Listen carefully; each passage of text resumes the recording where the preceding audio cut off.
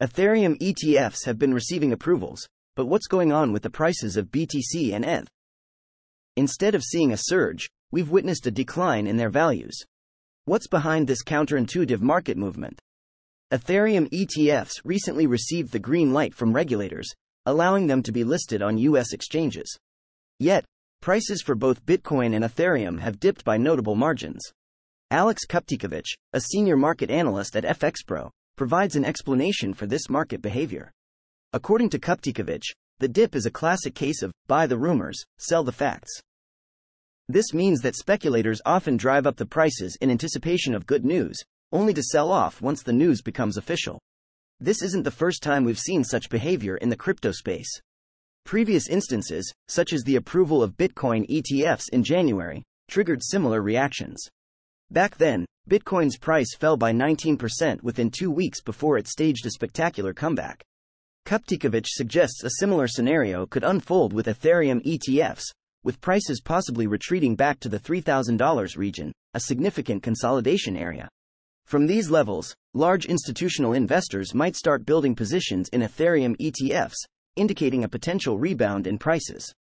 Even with these approvals, it's crucial to note that Ethereum ETFs aren't yet available for trading. The U.S. Securities and Exchange Commission, SEC, has approved the Form 19B4, allowing ETFs to be listed, but funds must still greenlight the S1 filings before these Ethereum ETFs can be purchased by investors. So, while the regulatory framework is in place, the market is still in a holding pattern, waiting for actual trading to commence. It's also important to be aware of broader market trends and investor sentiment.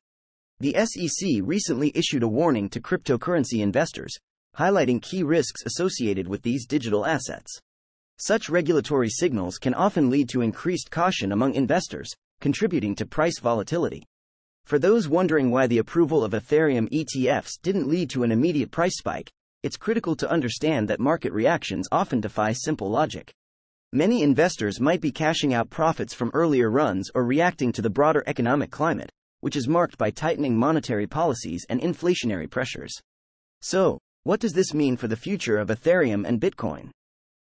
If history is any guide, the initial dip following the ETF approval could pave the way for a longer term rise. Institutional interest in Ethereum ETFs could significantly impact prices once trading begins, especially as these large players start to establish their positions. This pattern of buy the rumors, sell the facts may seem like a setback, but it's part of a larger, more dynamic market environment.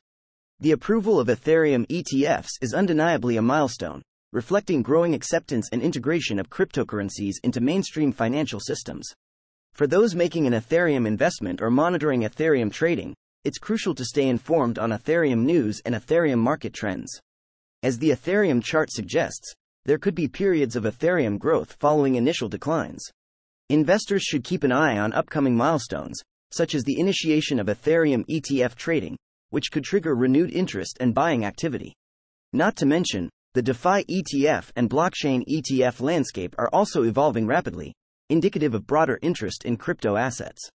As always, staying informed and understanding Ethereum analysis and Ethereum price dynamics can help navigate these volatile waters more effectively. Don't forget to leave your thoughts in the comments.